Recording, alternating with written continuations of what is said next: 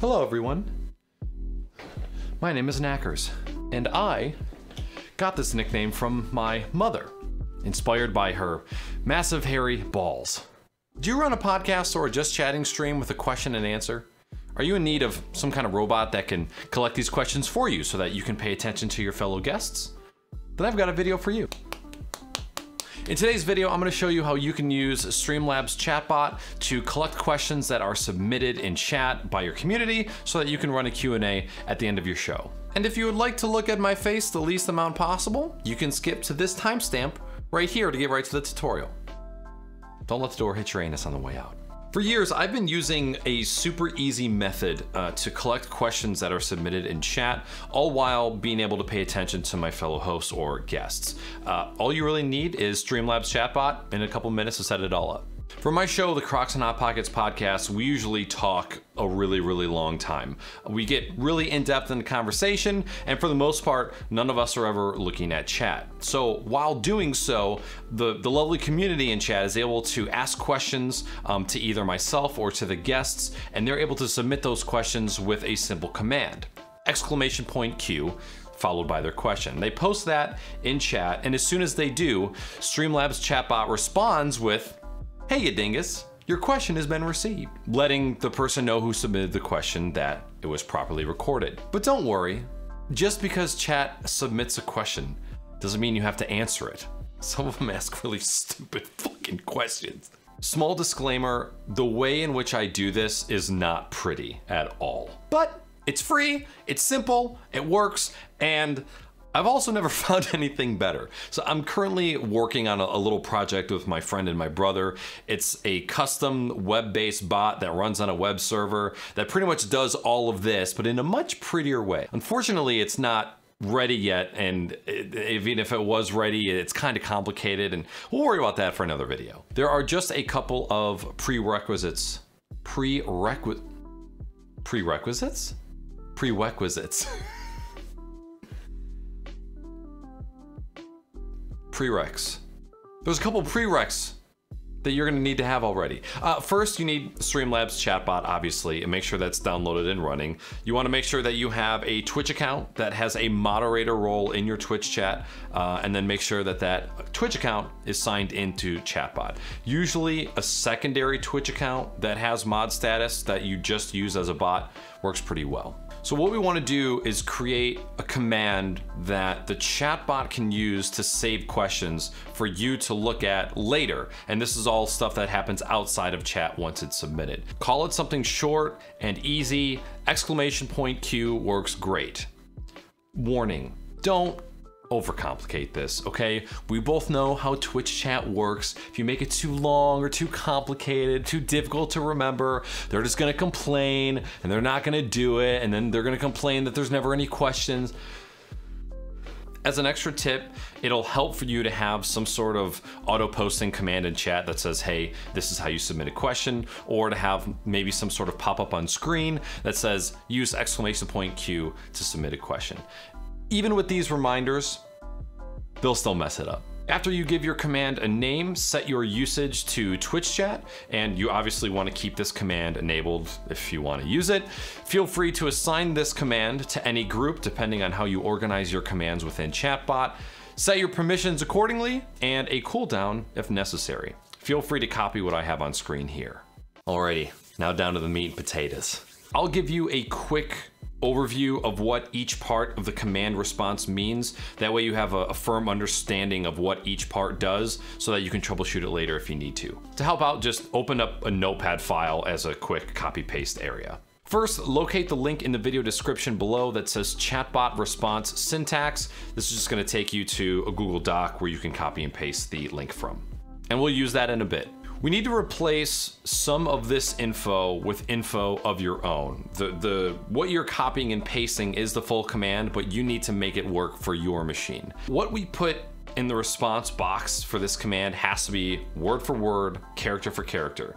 We are telling chatbot that whatever is submitted needs to be saved locally to our computer as a CSV or a comma separated value file. Think like a, a spreadsheet format, um, but one that we can just view in a notepad file to make it nice and easy. The first part is us telling Chatbot where we want to save the file, so we're gonna need a file path. As you can see, mine points here. But yours is obviously gonna be different, especially if you have more than one hard drive and your username for your computer is gonna be different. So open up a fresh file explorer. You can do that by hitting Windows key E, navigate to the area where you want this file to be saved, and click in the navigation bar to reveal the file path. Highlight the entire path and copy and paste this into that notepad we opened up earlier. At the end of this file path, we need to define what the document is called and the file type in which we're gonna save it. So whatever your path is, just add a backslash questions.csv to the end, um, and our file path is complete. This dictates what the file title is and what format it saves in. So notice here what I have next. I wouldn't really recommend adding any changes or changing anything. This is pretty standard. Um, this is the format in which the CSV is going to be saved. Because this is a comma separated value, the content of the chat message is going to be broken up by commas. So depending on how many commas the chat user puts in, this can be a major pain in the ass if you're using like a free CSV viewer or Excel. Uh, not a really a big deal if you use Notepad, which I recommend you use. So what is going to be saved first the username, then the word asks, and then whatever the person types in chat. So feel free to just copy what I have, make your life simple. Next up, we want to determine what the bot will say when a question is submitted and when the command is successful. So this can be whatever you want. Again, keep it simple. I use thank you dollar sign user. Your question has been added to the queue. It's simple, works well. Feel free to type this out in the notepad. Next up, what you want the bot to return with if the question submission fails. Easy. Failed. Next. All right, so it's time to do some copy pasting uh, and we're gonna build your own kind of command response. First, copy your file path into your clipboard, then highlight my file path starting with the first quotation marks and ending before the quotations close. Paste. Skip over this part and leave it default. Then copy what you want the bot to respond with. Begin highlighting after the second pair of the quotation marks and end before they close again. Paste. In between the final open and close quotes, enter in your fail response and you're done. So once you have your entire string of letters and words and symbols, cross-check it with mine to make sure that you aren't missing anything. A single mistyped quotation mark, uh, a random backslash could render your command completely useless. And now it's time to testicle head on over to your Twitch chat. So if you don't know, you can go to twitch.tv slash your Twitch username slash chat, and that will take you directly to your chat window. I have a test command that always verifies whether my bot is in channel and working. So I'm gonna do that first just to test to make sure that the bot is communicating. And now I will test our question command. Exclamation point Q. Why is the ham and cheese hot pocket the best? And why does pineapple belong on pizza? If you did everything right, you should see the bot come back with a confirmation.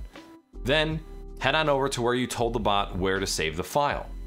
Right click, open with Notepad, and boom. Look how ugly it is. But it works and that's what counts. Whatever reason that doesn't work, delete everything, copy and paste the command that I use, and just replace the file path with yours. So keep everything absolutely default and just put your file path where mine is. So this should be within the first pair of quotation marks. And if that works, then you know you messed it up. It's okay. I believe in you. You can fix it. That is it for today's video. If you have any questions, feel free to leave a comment down below. Of course, my DMs on Twitter and Discord are both open, and you can find links to both of those down below. Uh, as always, videos like these are added to the Streamer Encyclopedia, which can be found at naaackers.com slash streamhelp, and you're welcome to you know poke around there and see if there's any other helpful information. I kind of use the Streamer Encyclopedia as a one-stop shop to point people in the right direction to get information about streaming. And uh, there's actually going to be a, a, big upgrade that's coming to the Stream Encyclopedia pretty soon, and we'll have a video coming out about that in the near future. Remember, internet, stream safe, stream smart. Ask your mom about her massive hairy balls sometime. And I, yeah, I, I yeah, I, I agree.